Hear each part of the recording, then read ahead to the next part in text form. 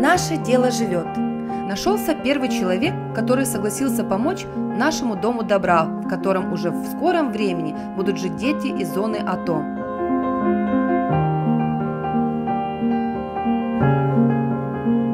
Директор строительной фирмы Александр Журба готов дать металлочерепицу для крыши.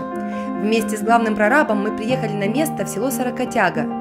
Состояние дома повергло специалиста в шок.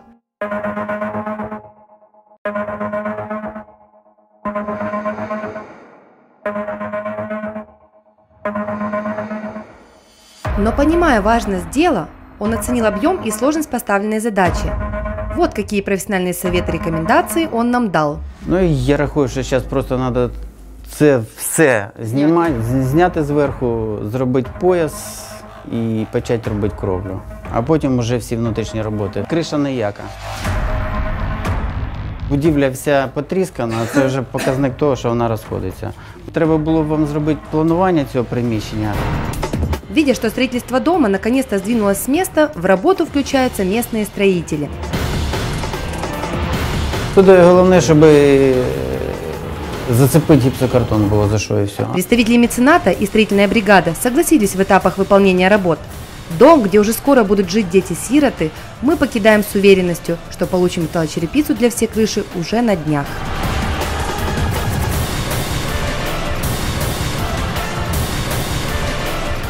Пока представители мецената заняты нарезкой металлочерепицы, местные рабочие по указанию главного прораба сняли кровлю.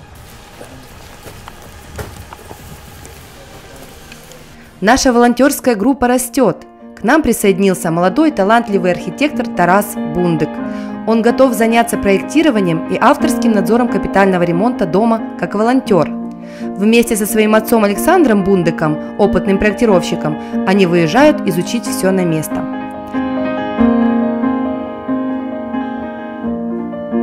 Тут головне, щоб зацепити гіпсокартон було за що і все. У нас вже є е, напрацювання і по е, інженерних комунікаціях. Тобто Це все по технології. Ми вся логістика от цього процесу ми вже відпрацювали.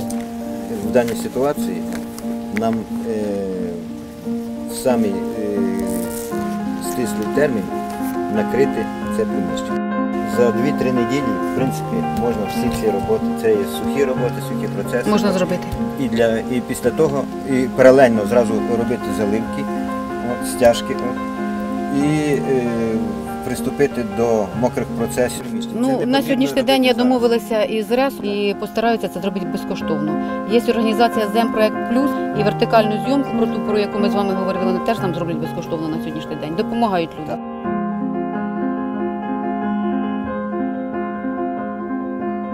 Благодаря отзывчивости застройщика жилого комплекса «Софиевская слободка» и архитекторам мы принимаемся за поиск детей-сирот для нашего дома добра.